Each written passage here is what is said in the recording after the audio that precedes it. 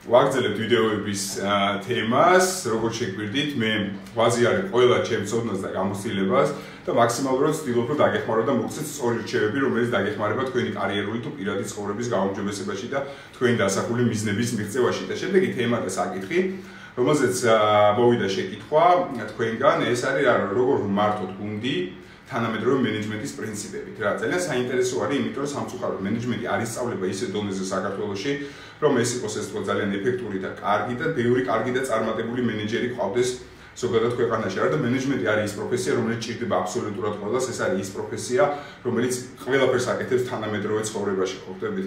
და მაგრამ არის რა პრობლემა, რომ ძალიან ბევრი მენეჯერი აბსოლუტურად ძალიან ბევრი მენეჯერს აბსოლუტურად არ აქვს წარმოდგენა, რომ კითხვა აი რა ფუნქციები გაქვს, უნდა მართო გუნდია, ესეთი პარტივი პასუხი არის რა, რა ძალიან არასწორი არის, იმიტომ რომ ესე არ ხდება, ხდებით? ეს მენეჯმენტი არის ცალკე ხელოვნება არის, ესე თქვა, ძალიან დიდი სფერო არის და ძალიან ბევრი სწავლა, განათლება, განვითარება ჭირდება აი ამ ყველაფერს, რომ შეგახდე პროფესიონალი ამ თვალსაზრისით. და აქენ გამომდინარე ძალიან ბევრი ადამიანი ხალხის მართვისას უშვებს ძალიან დიდ შეცდომას. მე დღეს მინდა რომ მოგცეთ ეს თქო ხუთი ნაბიჯი, ეს არის ძალიან მაგარი და ძალიან ეფექტური ხუთი ნაბიჯი, რომელიც წლების წინ მე ვისწავლე და წლების განმავლობაში სულ აი ამ ხუთი მთავარი ჩემი ფუნქციით მუშაობ ჩემ გუნდებთან, სხვა სხვა გუნდებთან და სხვაშორი ძალიან მომწონს, იმიტომ რომ ძალიან ეფექტური მეთოდი არის რა. ანუ ნახეთ რა არის, რომ მე ვარ მენეჯერი, ხო? თქვენ ხართ მენეჯერები რა. და უნდა მართოთ გუნდი და ხაი ფიქრობთ იმაზე, რომ რა, როგორ რანაირად გავაკეთო, რა ფუნქციებზე ვიყო ფოკუსირებული რა. ეს არის სულ არის ხუთი ესეთი ფუნქცია. ნახეთ, პირველი ეს არის რა, მენეჯერის აღმოცანა. იმის და მიუხედავად თუ რა დონის მენეჯერი ესე გენერალური დირექტორი თუ უბრალოდ რაღაც ჯგუფის უფროსი ხო?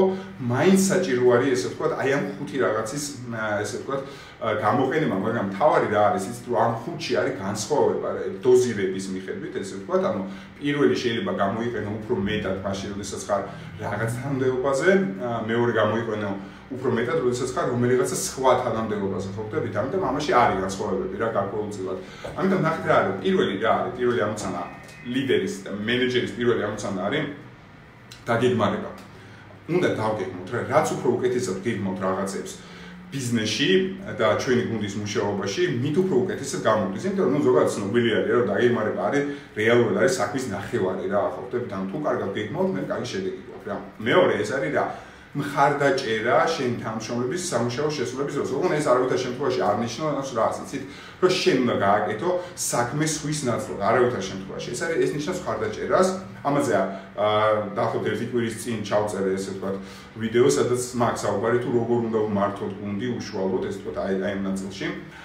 მესამე რა არის რა? მესამე არის აუცილებლად უკავშირის მიცემა რა. ანუ უკავშირი რას ნიშნავს, რომ მომეწონა გეუბნები, არ მომეწონა გეუბნები, რა არის გასასწორებელი გეუბნები. შესაძლებელი ხარ გაკეთე. ან უკუ კავშირი, ფიდბექი ეგრეთ წოდებული ძალიან მნიშვნელოვანი არის ნებისმიერი ადამიანისთვის და ამიტომ მაგაზე დაფოკუსირდით, რომ ყოველთვის თქვენს თანამშრომლებს მიეცით უკუ კავშირი მათ მიერ შესრულებულ სამუშაოზე რა.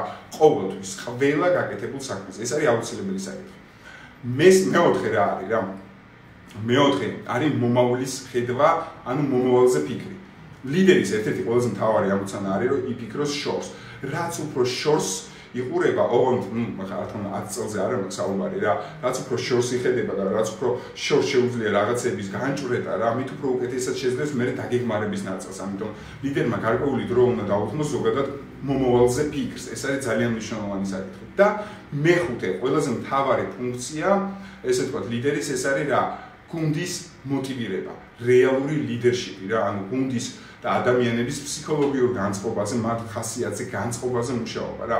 აი ეს არის ყველაზე მთავარი ხუთი, ესე თქვა, ამოცანა, რომელიც აი ხა ართ ლიდერი, ეხლა პირობითად ადექი ჩამოწერე და თქვით რომ მე ამ ხუთი პრინციპის მიხედვით დავიწყებ მუშაობას და ჩაშალეთ თქვენი კონკრეტული სამსახურიდან გამომდინარე თუ რა გასაკეთე რა გასაკეთებელი აი ამ ხუთი თემიდან გამომდინარე რა ნახეთ პირველი კიდევ ერთხელ გავიმეორებ ეს არის დაგეგმარება რომელიც არის უნიშნულოვანესი საკითხი. სწორედ დაგეგმოთ ხო დაგეგმარებაში როგორ რა იგულისხმება რა რომ ვინ რა როდის რა ვადაში უნდა აკეთოს როგორ მოხდება ესე თქვა ან დავალებული საქმეების შეფასება. თუ ან თუნდაც ამაზე ცალკე გვექნება საუბარი როდესაც სწორ დელეგირებას შევეხებით ჩვენ ერთ-ერთ ვიდეოში რა. ა მეორე საკითხი ეს არის რა რომ ხარდაჭერა თანამშრომლების ანუ თანამშრომლობა უნდა იგრძნოს რომ შენ გვერდით ხარ რა ხდები ანუ არ უნდა იგრძნოს რომ სხვა შეიძლება აი ამ ძალიან ხშირად უშვებენ აი ამ შეცდომას რომ ლიდერები ისე მუშაობენ რა დისტანციურად დაგავალე და მიდი და გააკეთე ახლა და მე მითხარი რა ქენი რა რაც აგრეთვე არ არის ეფექტური რა ანუ თანამშრომელმა უნდა იგზნოს რომ თქვენ მის გვერდით ხართ რეალურად მაგრამ თვითონ უნდა აკეთოს ეს საქმე რა. აი ეს არის მთავარი თემა და ამას გარკვეული დრო უნდა დავუთმოთ თქვენი დღის განმავლობაში რა. მესამე ეს არის უკავშირის თემა უკავშირის ფიდბექი ყოველთვის მიეცით თანამშრომლის ფიდბექი კი კარგად გააკეთე, ცუდად გააკეთე, ეს გამოსასწორებელი, აი ესე შეცვალე ასე შემდეგ რა. უკავშირი, უკავშირი უნდა იყოს ავალი. არავითარ შემთხვევაში შეფუთულად არ გააკეთოთ ეს ყველაფერი. ანუ არიან ხოლმე ესეთი უფროსები, რომელიც ნამიოკებით ცდილობენ ხოლმე, რომ რაღაცა აუხსნან მეორე მხარეს, რასაც ძალიან არაეფექტური არის და ამიტომ ჯობია რომ იყოს პირდაპირ რა. მეოთხე, ეს არის რა, მომოვლის ხედვა და მომოვალზე ფიქრი და ანალიზი იმისა თუ რა იქნება, ეს მომოვალი არის განსხვავებული იქნება გამომდინარე თუ რა პერიოდზე გვაქვს ჩვენ საუბარი და რა გუნდზე გვაქვს საუბარი, შეიძლება იყოს ერთი თვე, შეიძლება იყოს სამი თვე, ან შეიძლება მთელი ერთი ან ორი წელი რა. გააჩნია საცაობრო სადმუშაობთ და რა პოზიციაზე ვარ. თუმცა მომავალზე ფიქრი და ზრუნვა არის ძალიან მნიშვნელოვანი და თუ ამას დაუბრუნდეთ ეს თქო შესაბამის ყურადღებას, მე გაცილებით უფრო ეფექტური იქნება თქვენი დაგეგმარების ნაწილი და მეხუთე ეს არის რა?